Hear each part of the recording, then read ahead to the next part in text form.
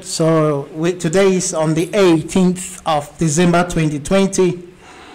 Uh, so what we'll be doing tonight is to prepare ourselves for the Christmas season. Amen.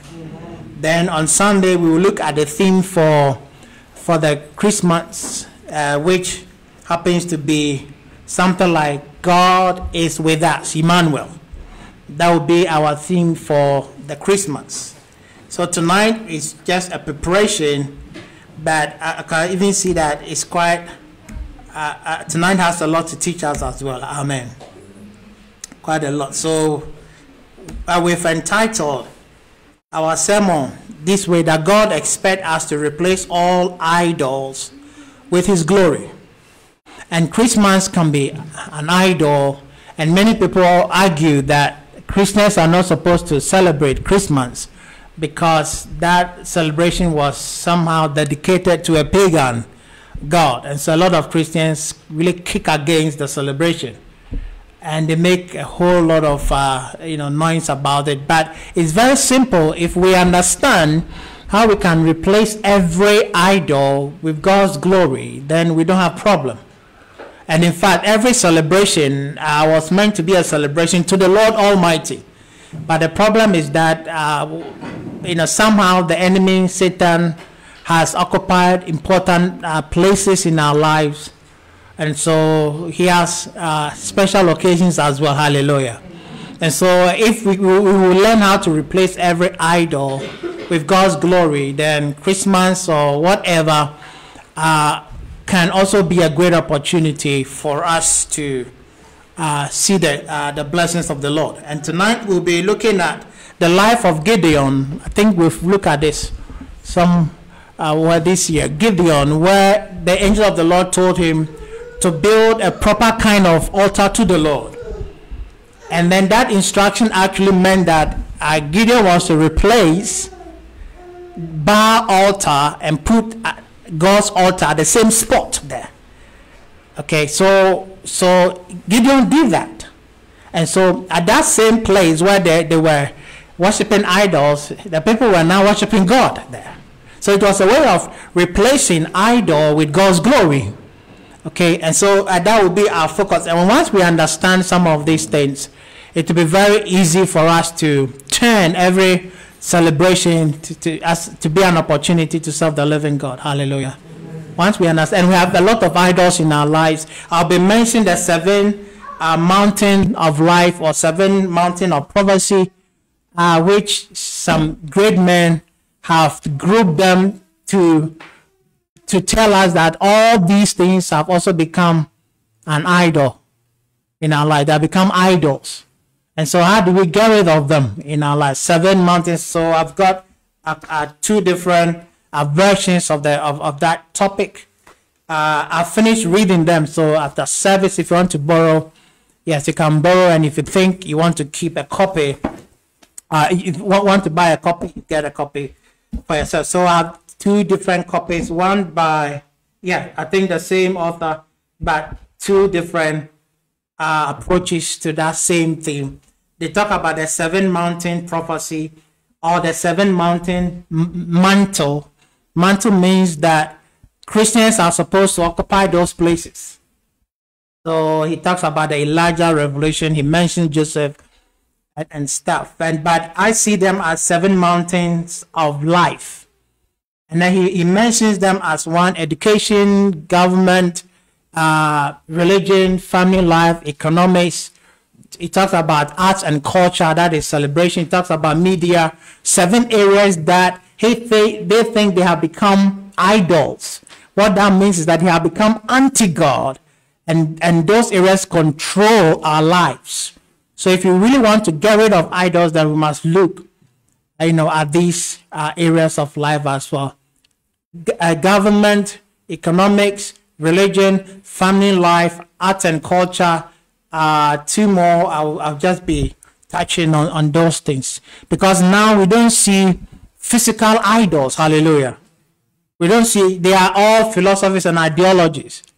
But an idol, as we'll be looking at, is simple anything that that takes the place of God. Anything anti God becomes an idol. And idols have influence in our life. In those days, an idol, so let's say Baal, for example, would teach the people how they should live.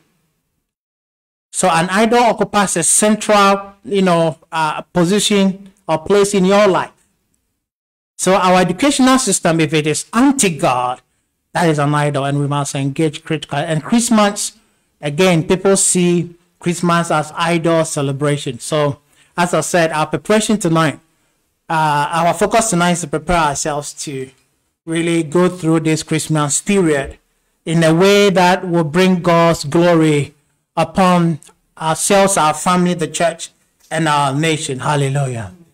Amen. Amen. So our, our, our text is Judges 6 24 to 26. So let's read that text. Judges, sorry, Judges 6 24 to 26. So when uh, Gideon had an encounter with the angel of the Lord, this is what happened. Verse 24 says that so Gideon built an altar to the Lord there and called it the Lord is peace. So where Gideon had an encounter with the angel of the Lord, he built an altar there and called it the Lord. Those days they did not have the church building or the temple, and so people, eh, eh, you know, were really building uh, uh, altars to the Lord wherever they would meet God. Then that place became a church, and church actually is people coming together in the presence of God. And so, and so that's what he did. So he said, To this day it stands at Ophrah of the Abiezrites. 25. That same night, the Lord said to Gideon, Take the second bull from your father's herd, the one seven years old, tear down your father's altar to Baal, and cut down the Asherah pole beside it. So the father was in charge of that community, that society, the, the idol worship. And everyone will come there to worship that idol. And so the angel of the Lord said, told him in the night that tear that thing down and then cut that pole beside it. 26. Then build a proper kind of altar to the Lord. Now you see the expression? Proper. So you can also celebrate proper Christmas. You can celebrate proper Christmas. So we have Christmas, but we can celebrate proper Christmas. The instruction was simple tear it down then build a proper kind of altar to the Lord, your God, on top of this height, using the wood of the Asherah pole that you cut down. Offer the second bull as a burnt offering. Amen. So the rest of the story tells us that Gideon did that. Of course, the whole township came and wanted to kill him, but God was with uh, Gideon, and the whole people now started worshiping God at this place, the same place, the same spot so our focus is very simple. You can apply this to almost every aspect of life. That we can always offer proper service worships to God, even though that thing originally was dedicated to the enemy. Because the truth is that the enemy owes nothing. He has hijacked all that belongs to humanity. Hallelujah. So, so, so, so from that, we can approach Christmas uh, differently and we can approach all other aspects of life differently. And I'll start by saying that one of the reasons heaven is great is because God's glory filled the whole place. Heaven, God's glory, when Isaiah saw the heavens, uh, that was his uh, uh, a message that, that the glory of the Lord had filled the whole place. So if the earth can also be filled with the glory of God, then the earth can become heaven. Hallelujah. And because the book of Hebrews 2:14 says that, and God's glory and his knowledge will fill the whole earth. And how will that be possible? That can be possible if his people we know how to replace every idol with the glory of the Lord. So that place where they were worshiping idols had become a place where the glory of the Lord know, uh, was. But I also want to say that if we don't pay special attention, what happens is that we allow some things to take God's glory from the society, from our lives. And then the result is that Satan takes over to enslave us in sin and its consequences. we then lose our place in the universe. So instead of having dominion, we become burdened. Now, if you read the whole chapter, the Midianites were suppressing the Israelites, right? Not the story. The Midianites were very bad people, so they will wait until it was time for for harvest, and then they'll just come and bounce on the people and take all their harvest. Now, when the angel of the Lord said, Gideon, take away that idol, he was saying that you people are going through suffering because of this idol, the Baal. So take it away. If we really want to have good life, what idol does, which I will mention at some point, is that it, it attracts misfortunes. And two, idols makes us vulnerable to our enemies. That's why. So the Midianites always had upper hand over the people of Israel because of that idol there. And the angel said, Take this one away. And the moment you do that, go and fight the Midianites. And then you have victory. And as you know the story, Gideon fought the Midianites and they got victory. So if we have idols in our lives, the best thing is to replace them with the glory of the Lord. Hallelujah.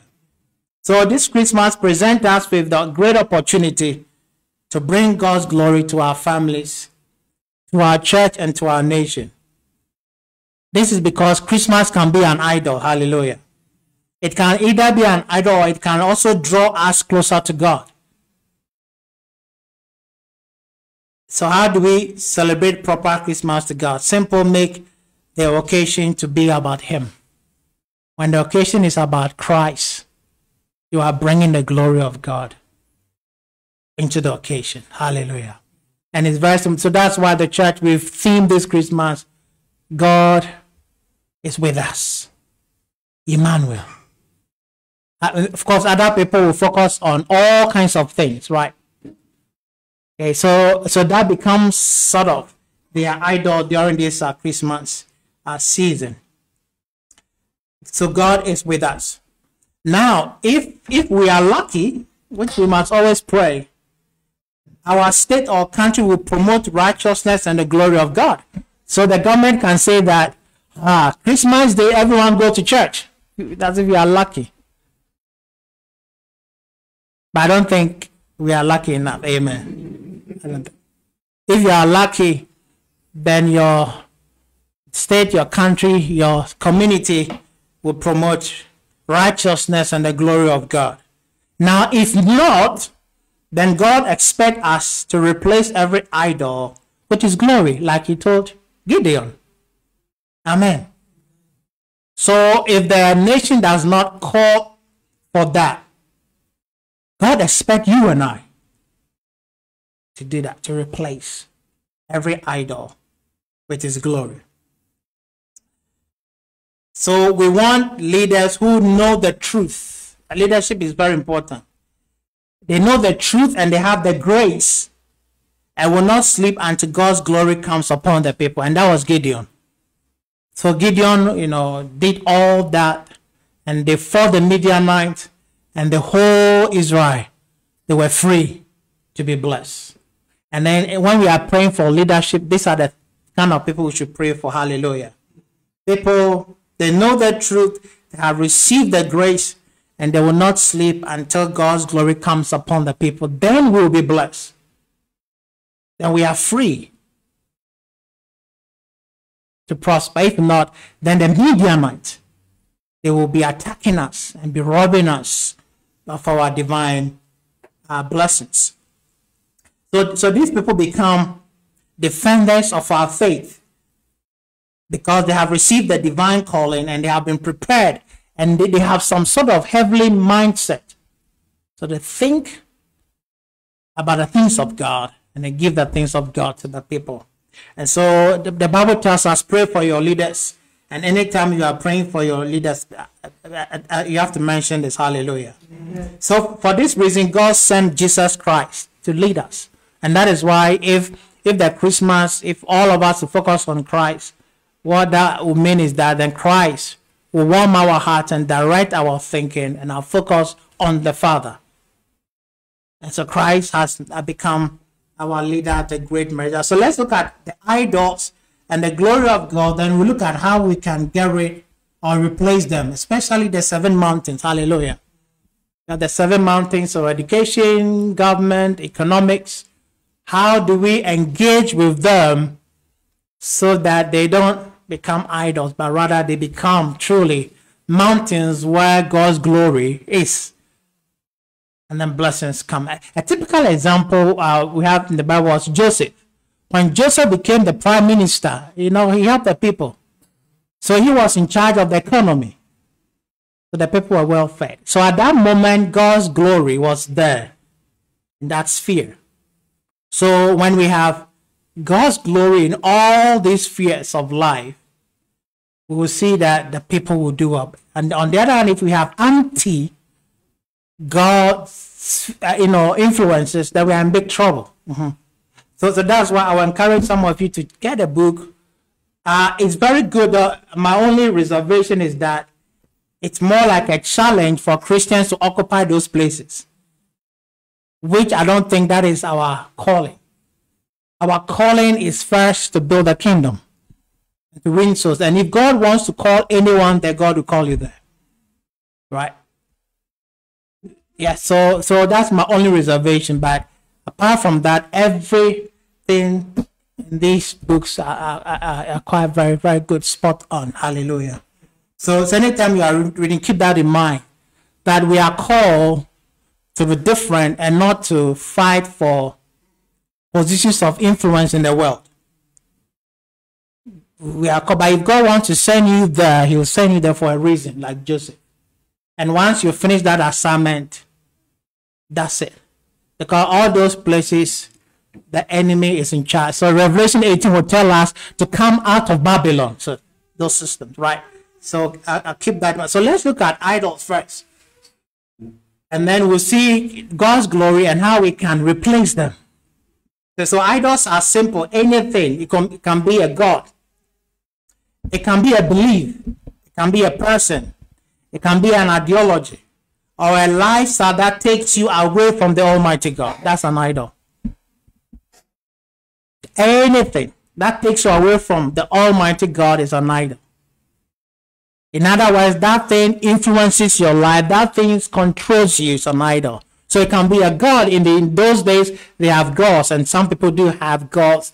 So that those small gods are their god. So they pray to God through. So so the spirit in that God will tell you what to do. And of course, the Spirit will always lead you away from the Almighty God.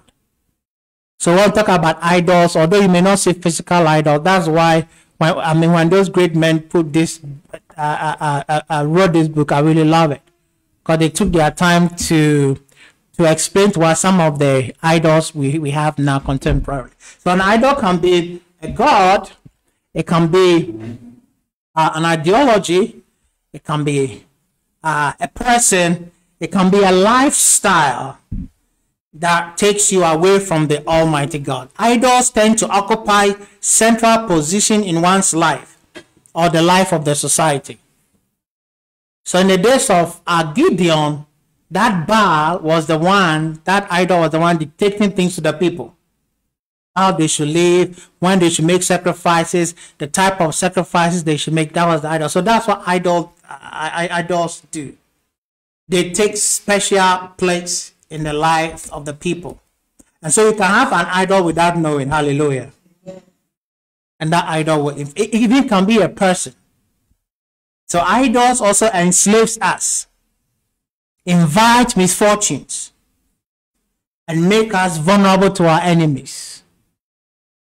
Idols, so that book, uh, uh, Judges 6, the Israelites were oppressed by the Midianites, who, and they cried to God, they, be, they became very vulnerable and weak.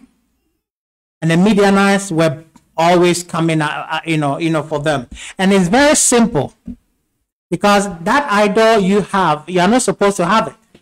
So that idol will favor, I mean, he saw her own people. Hallelujah. So yeah, so you have brought an idol into your house, but that idol, you know, does not even belong to you.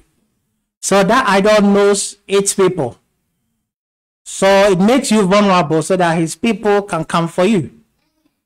So the Israelites, uh, they had God and they had gone for Baal. And so the Midianites had upper hand because the Midianites were Baal worshippers anyway. That's how it works. So when you keep an idol in your life, that idol makes you vulnerable and exposes you to your real enemies. That's what happens. Uh, and many people do not know. So, uh, so the presence of the Baal in the lives of the Israel was a great source of problem uh, to the people. Now, anywhere you see an idol, brothers and sisters, you have constant problems all the time. Anywhere, I mean, now, now you cannot see physical idols, but those days, if you go to any house where there was an idol, every time there's a problem. Every time there's a problem. Every time. Because the idols trap misfortunes. So the kids maybe will, will start crying and crying. You didn't know what's wrong with them. The kids will start having seizures. The kids will start, uh, you know, behaving funny. Or the men, something bad can happen to the men that they cannot hold jobs or they cannot keep families. Or, or the women cannot, uh, you know, marry or something. They, there was always something happening. Now, if you go to the Volta region, right, in Ghana, uh, if you go, those places where they have idols, I tell you. And even if you have an idol in your house and you move away, every occasion they'll go and mention your name. So they'll pray to the idol. Idol, da da da da da. We pray for John, who is in Kumasi, that you keep him safe. So then that idol, that demon will be following you. So when you come to Jesus, then it is Christ who will say, who will now be your savior and be following you. So every uh, person who has idol in his or her house, they are always constant. There are problems. Because you see, the idols must inflict pains on the people and put some fear in the people so that the people will always obey them. Okay, so Israel suffered a lot. And when the angel said, Gideon, go and deliver your people from the Midianites, the next thing he told him was that get rid of that idol from there. If not, you can never defeat the Israel. Hallelujah. Amen. And so, and so, understanding some of these things, brothers, is very, very important. And and it, it's very easy to have an idol in your life if you don't understand some of this. And when you read the book of Revelation carefully, the Bible says that when John saw the angel who was telling him the vision, right? He, I mean, he wanted to worship the angel, but the angel said, "No, worship God." That's what the angel said. No, worship God. So it's very easy for you to focus on something and allow that thing to influence your life. And, and for you know, that thing has become your idol. When, when John received the vision, of course, he was overwhelmed. You know, those great things. So when he finally met the angel who was showing him and explaining things, he was like, wow, this is God. He wanted to bow. And then you said, don't do that. Worship the Lord Almighty. the temptation to allow people, situations, lifestyle to influence you, brothers and sisters, is very, very strong these days. And they can easily become an idol uh, uh, in your life. So, so when we look at the seven mountains of mantle or prophecy of life, we mentioned you you can easily identify idols or places or situations where Satan will want to take charge right? And and once I pray, the Lord will give you grace to understand it more. Once you see that, you begin to pray, and you don't allow that situation to have dominion over you. Quickly. If not, that situation, that person, that lifestyle now has become an idol and it will influence your life. And you ask the question, why that? Why that? The angel told that uh, uh, uh, tell Gideon, get rid of that idol. If you really want to be uh, successful, get rid of that idol. Let's look at God's glory, is it? We are looking at God expect us to replace all idols with his glory. So let's look at God's glory here. So God's glory is is his glory it's his presence, it's, his is anything. It could be, I believe, his Holy Spirit. It could be a lifestyle that he has, uh, I mean, prescribed to us. He, it can be his servant, but God's glory or, or, or whatever God uses to display his glory will always draw us closer to himself. That's what it means. Whereas another will move us away from God. So when the earth is filled with God's glory, then everything in this world will help us to worship God. That's what it means. Everything. The angels will help us, the ministers, the church, even the trees. When you look at the trees, you want to give glory to God.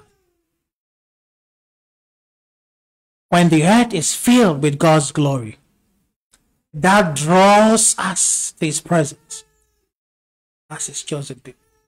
Whereas an idol will move us away from God.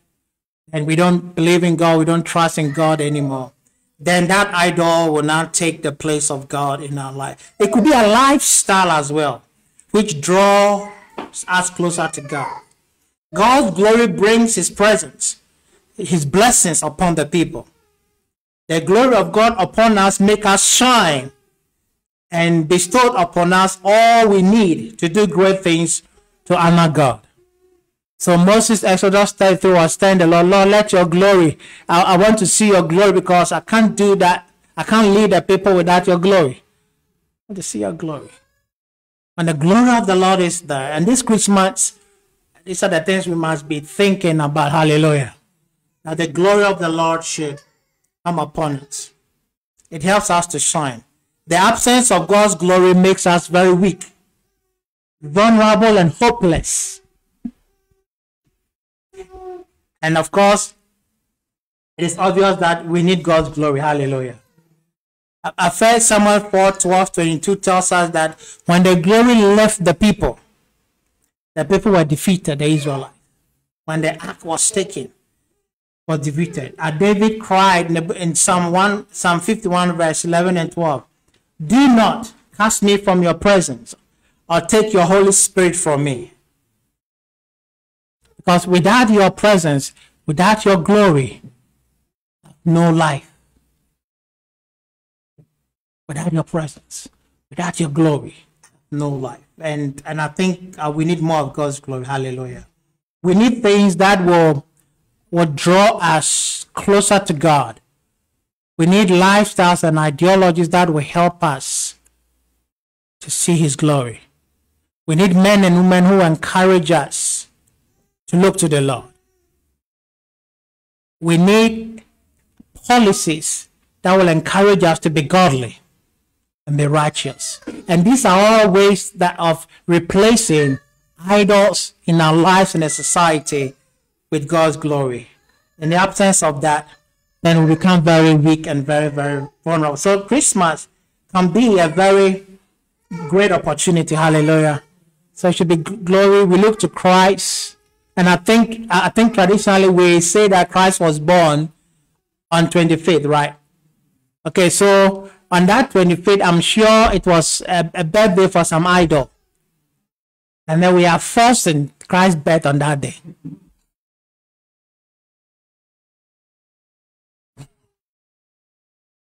We have, we have said that Jesus take that 25th to be your day of birth.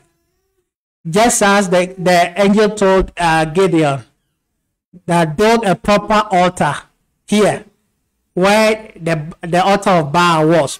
Now put God's one there.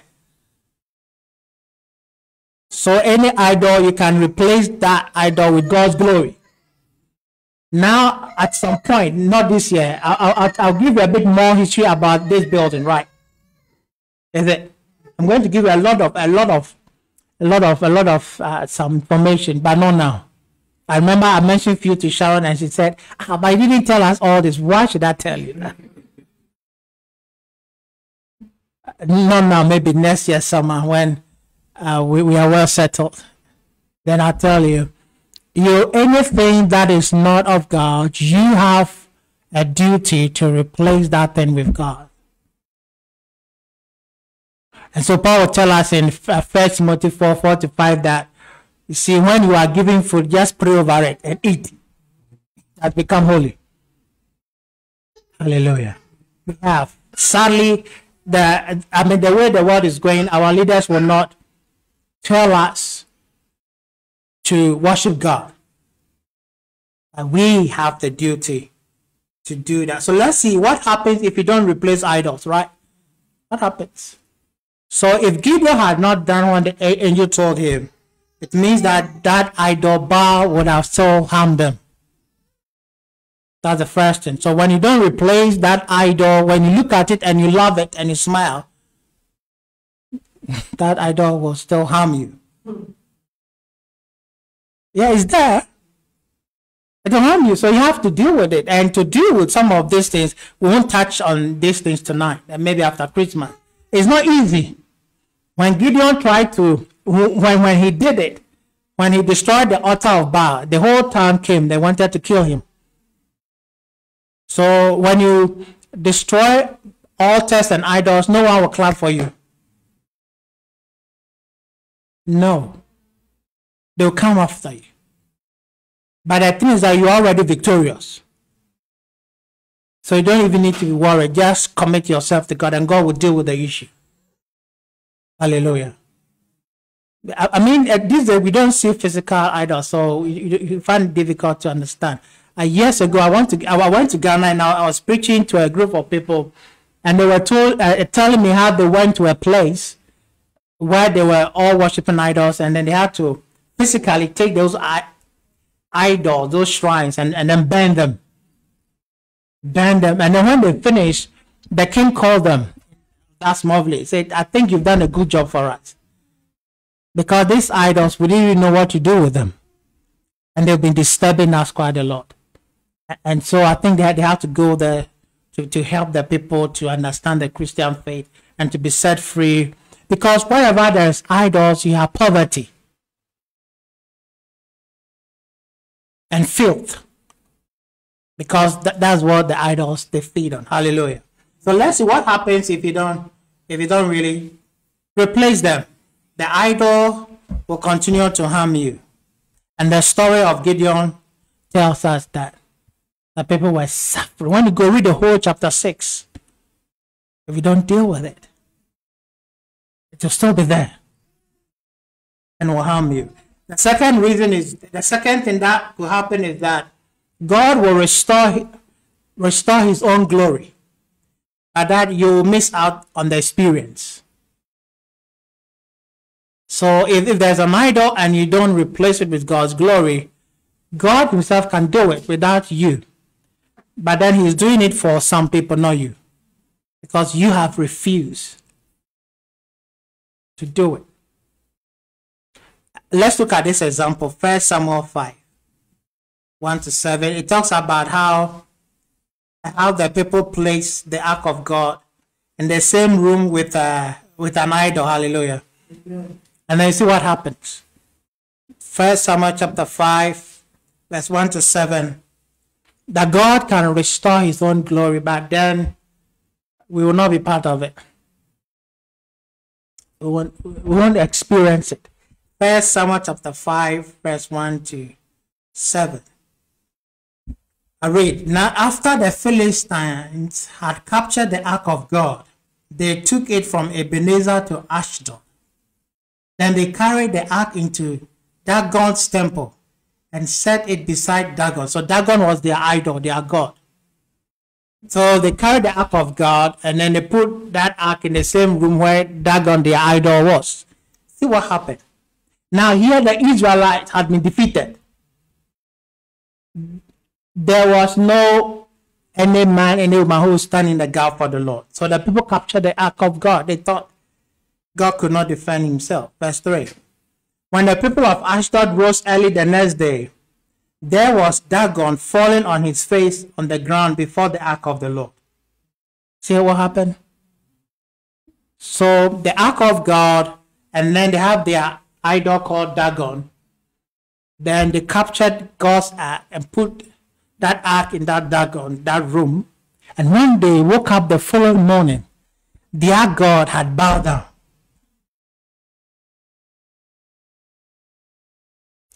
Had bowed before the ark of the living God. So, so those gods, Paul will say that they are nothing. They are nothing. They only have power because some people will worship and pay attention to those idols. So God, there was no believer there. The Philistines captured God's ark and then put it in that same room where their idol was. When they woke up in the morning, their God had bowed down to the Almighty God. Hallelujah. Every knee will bow to Jesus. Every knee bow to Jesus. Every tongue will confess that Christ is Lord. When you have Christ Jesus in your life, take your time to understand the faith that you have come to. And you will never be afraid of all these things. Because you have come. As we looked at last on Tuesday, you have come to the Almighty God who has the greatest power on it. So the ark was falling down before. So they took that God and put him back in his place. So if, if you have to carry your God, then he's not a God. if you have to carry God, so you you God, you've you've you've I you went to war, and then you've been beaten. So you want me to come and carry you? Meanwhile, to withdraw my protection from you because you cannot protect me. So the so the following one they went and then they they positioned their idol there. And let's see what happened. Verse 4. But the following morning, when they rose, there was Dagon falling on his face on the ground before the ark of the Lord. His head and hands had been broken off and were lying on the threshold. Only his body remained. Hallelujah. He's scattered. That's the power of God. That is why to this day, neither the priest of Dagon nor any others who enter Dagon's temple at Ashdod step on the threshold. And so here we are saying that God can restore his own glory. Hallelujah. And so, and so if, if, if, if you read the rest of the chapter, the people now had to consult and take the ark of the Lord back to Israel. And if you want to go to the land of Israel, no one was willing to take it. And then he went to a place for a long time, and then that person was blessed, and later David them tried wanted to carry it back. So God can restore his own glory in the world. Hallelujah. And this makes me very, very happy. Because if we cannot, God will do, will do it himself. What we cannot do, God can do. But that if we refuse to replace idols, all that means that, that we will not be part of the experience, the blessings. Now God Himself will do the thing. So let's look at some of the idols we now have and how we can replace them. I'll just mention few, and I'm sure what we'll be doing for the next 20 minutes will be enough. Hallelujah. To empower you to, to be replacing idols daily in your lives. You don't allow them to influence your life. Practically. If not, then, like what the Israelites experienced, you just suffer unnecessarily. Okay, I mean, I, I, I would say idol can be someone who has a very commanding spirit that he or she wants everyone who comes close to him or her should, should, should submit. And so that person begins to influence and then and then and then and then you struggle. But the glory of God sets us free to live the life that God has ordained us. Hallelujah. And so and so this practical thing, you really really understand how things. I mean, I also have been in the church uh, in the past. A lot of people try to do that, so that so that they can influence the church, and then I had to fight them because I knew the the the, the consequences because then it will no more be the Spirit of Christ who will be in charge of the church, but they will be in charge of the church. So when you read the book of Revelation, chapter 2 and 3, Christ addressed them. Right? So it's very important. Some of you, as you are maturing, you begin to understand some of these things. Hallelujah. Even at your workplace, in your family, there are some people you don't have to. Because if you do, you come under their influence and you will live their life. Meanwhile, God has a special life ordained for you. Very important. So, where are the idols and how do we replace? Okay, let's say that every idol should be treated differently. Every idol should be treated differently. So, so physical idols, yeah, you can take them, throw them in a bin, pray over them, and that's it. That's a physical one. But if it's not your idol and it doesn't concern you, you don't go around and do that. If, if, if, if, that thing is disturbing you, that's the only time you can engage. But if not, that it has not, it's none of. So let's say today, if you go to Eastern, if some people open their windows, you see quite a lot of them. Don't just do knock knock and enter and uh, just start pulling people's idols and praying and breaking. No, they want the idol. They've gone for it. But that if the idol is harming you, then you have the right to engage. Hallelujah. If not, you just just leave because the, the world is not for you. The world is for God. And then he will handle them. So every other so you can you can replace idols, for example, this Christmas with the Christian message about Christ. So this Christmas, you make it about Jesus and make sure the family celebrates it in a godly way. Then you be, be very kind to people. Make sure you don't spend too much because I think, I think it's not necessary to spend a lot of money Christmas time now. If you have enough, yes, spend. If you don't have, just make sure you don't disturb the family. Hallelujah. So, so you can uh, you can spend the Christmas in a godly way.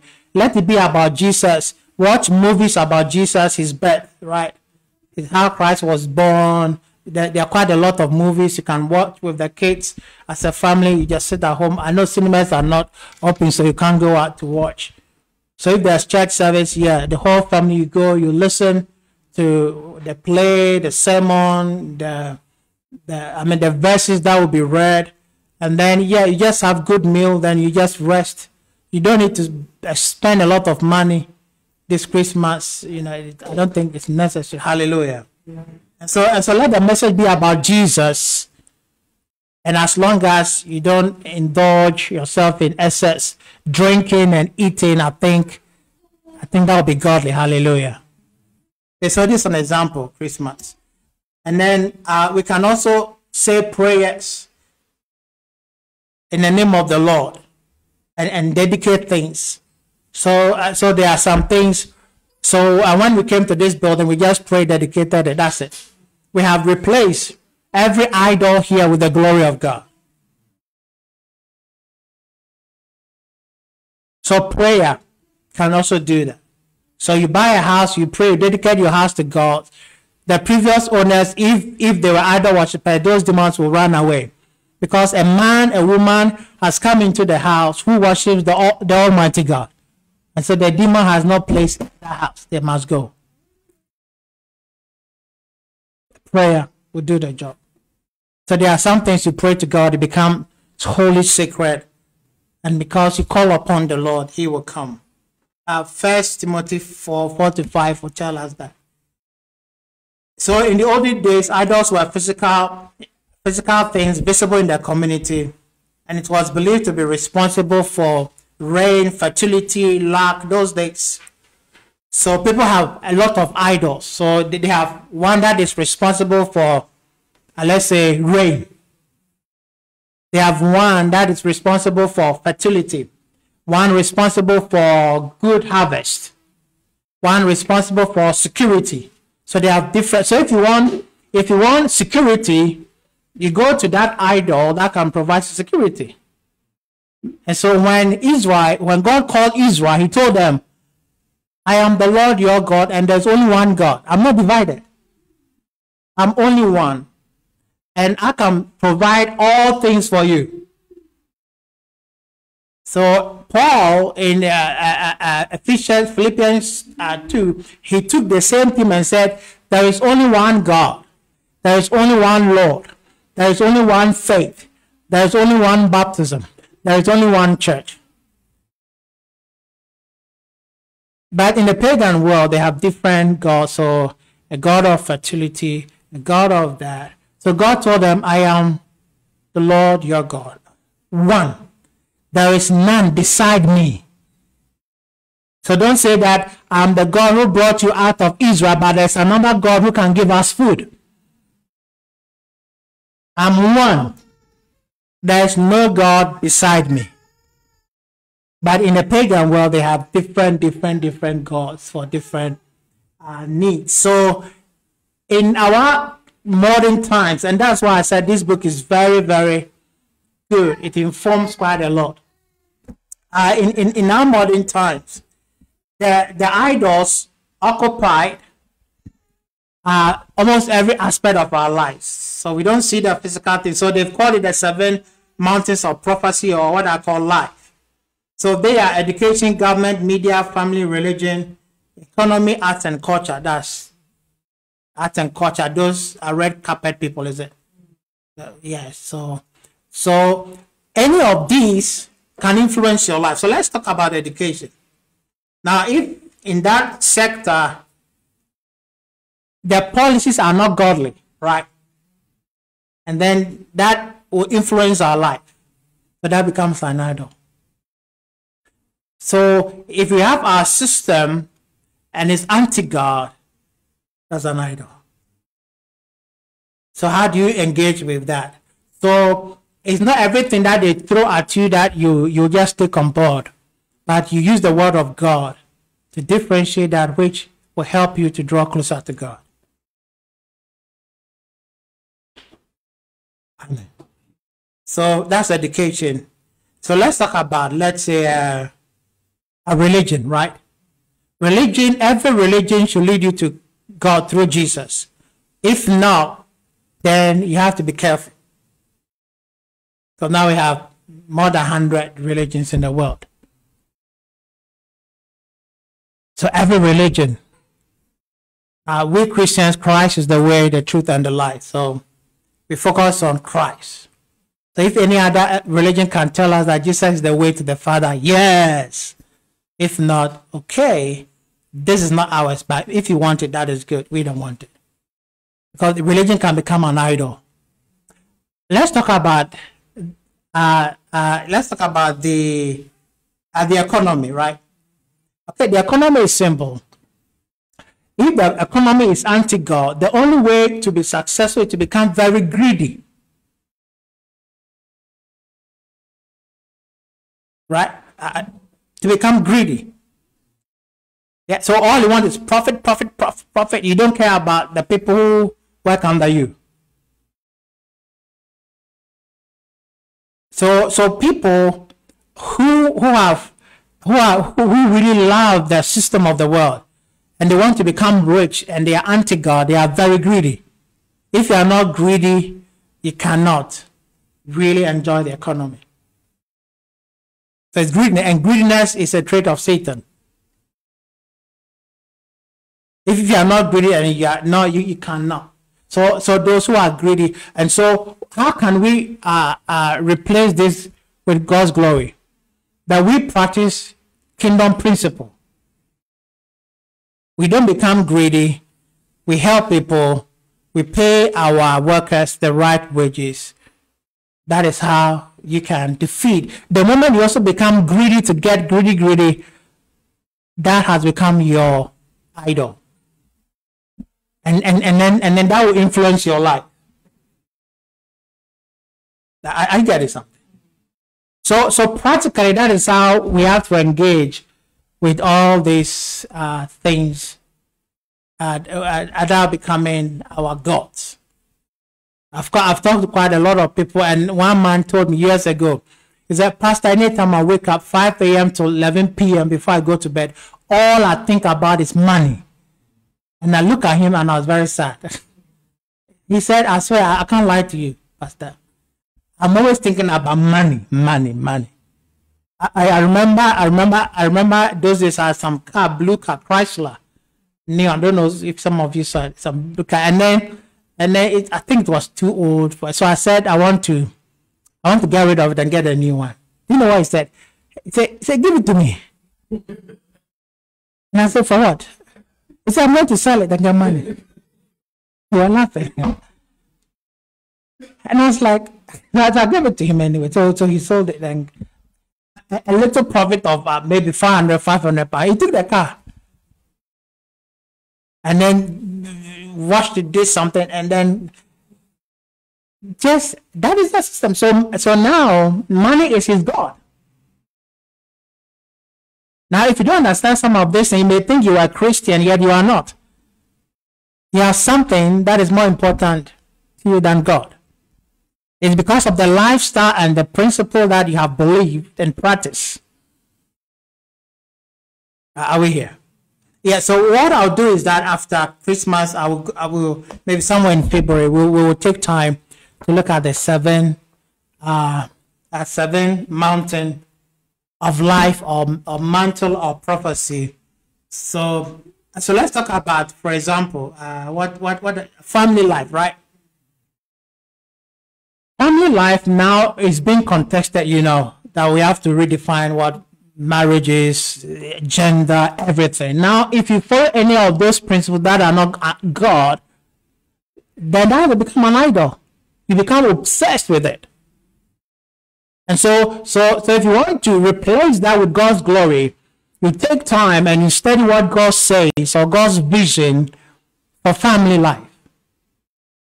And the moment you practice that, you, you replace that idol with God's glory. I, I, I hear with me. If not, you may think you are Christian, but you are following an ideology that is anti God, and so that is your God.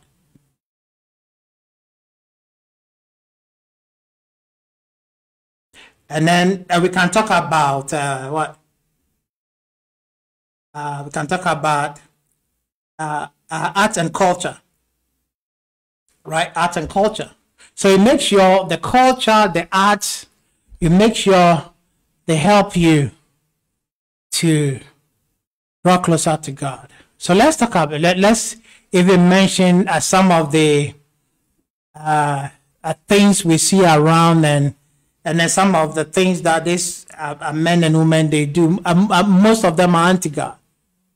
So, so it, it is good we, we, we celebrate, but we, we must make sure that they are not anti-God. If not, we have adopted forms and culture that will become idols in our lives. And, there, and therefore, we will not be able to exhibit God's glory. Hallelujah and then we, we, we struggle. We can even mention the media. You make sure you watch movies that will draw you closer to God. In fact, let me alone. The kids should have special movies to watch. But these days, the movies that they watch and all that, in a very nice way, they are trying to condition their their mind to to accept and to see some things as as good and normal. Yeah, I mean, I mean, uh, some of the characters characters too too too too much. But now now now they'll just be watching and be laughing. Now take time and, and just look at what your child is watching. Sometimes they'll be watching something, all of a sudden a big snake will pop up and they'll be okay with it. When we're growing up, you run away. Because we know snake is evil. And then and then and then they'll be watching and then someone you know, a character will say, Oh, I am a witch, I have magical powers. And those things. And then they will be watching. So so if in media somehow it's, it's, it's, it's, it's sort of a God that is taking people's heart and love from the Almighty God. Are we here tonight? Okay, so what these men are arguing is that it is good Christians pray to God and occupy these positions so that they can bring the glory of God there. And so and that is where I only have some problem. Right? a problem there because the calling is that we should come out from those uh, places because the, the evil there is too much. Hallelujah. But if God has called you there, then go. and do it because then God will be with you. But you should not think of pursuing that as a lifestyle. That I really want to get into, let's say, uh, education to restore the glory of God. That no. But if God calls you there, then He's going to empower you to work hard. Hallelujah. Okay, so so now due to uh, the fact that we want our society to be secular, all these areas have become anti-God. Right? All these areas. So now they don't pray at schools anymore, is it? They don't read Bibles anymore. But before, decades, years ago, you pray, they'll tell you about God as the creator. They tell you about Jesus Christ as the savior. And then by these days, no more. So then you have to be a bit more careful so that you don't allow uh, some of these things to become your God at all. So we can engage with all the, the seven mountains of life in a way that draws us closer to God. So we make sure our educational system draws us closer to God. And when it comes to uh, governance, we pray that our leaders are godly. Hallelujah. Always make sure that your leader is godly. If not, pray that godly stuff will come from him or her. And then also, our families should be godly as well and when it comes to celebration, we don't allow world entertainment to, to interest us. Hallelujah. Our, our religion should lead us to God through Jesus Christ. With regards to our economy, we follow God's principle. The moment you begin to do that, you are replacing idols with the glory of God. And then you see the difference. Yeah, see the difference in your life. So I will take time uh, for us to look at all the seven mountains a little bit more in detail at the writer. But tonight, we are just looking at how we can make this Christmas uh, a better Christmas for God. In other words, in the words of the angel, how we can replace or build a proper altar to the Lord. How we can celebrate a proper uh, Christmas to God. So that we, we will enjoy God's glory and, and God's blessing. So may the Lord bless us And then as you go home, begin to learn how to replace every idol with the glory of God. Practically. If you don't do it, that thing is watching. And that will harm you. If you don't do it, the Israelites were there for decades. The Midianites were harming them. Until the Lord touched Gideon's heart. And Gideon destroyed that Baal, that idol, and the people started prospering. If you don't deal with it. So when we look at how to deal with it at a, at a time, it's not easy. Yeah, if, if, if you try to, I mean, don't forget the promise, uh, Genesis 3.15. The seed of the woman would, would defeat the enemy, right? But the enemy will do what? It's going to strike okay, uh, the heel, right? So when you crush the idol, don't think that you go free. That's a lot of Christians get frustrated. When you crush it, the enemy will also come after you, but he comes as a defeated foe. He can't have victory again. No, he will come after you, but he's already defeated. And so if, if you are not strong in the Lord, you, you run away when the enemy tries. I, I think you know the story of uh, Elijah and Jezebel, right? Elijah destroyed all almost 400 uh, uh, prophets of Baal and all Baal worship. And, and then Jezebel said, I'm coming for you. Then he, he ran away. The enemy will always try to chase you once you defeat him. Hallelujah. He is a defeated foe. So may the Lord bless us tonight. And those who are listening online, make sure that you replace all idols in your life with God's glory.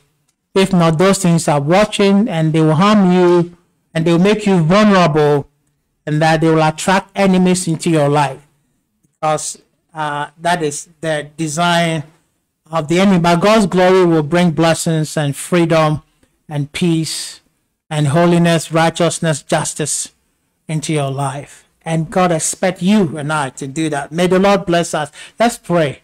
And then we can bring the service to a close. Father, we